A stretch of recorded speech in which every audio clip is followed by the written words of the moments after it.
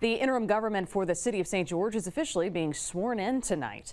A live look now at that ceremony. It is happening at the Woodlawn Baptist Church. Several of the appointees, including the mayor and the police chief, are being sworn in. This marks the beginning of St. George's government and officials creating all facets of the new city. The city of St. George is now the fifth largest city in Louisiana with over 86,000 residents. The head of a powerful business lobbying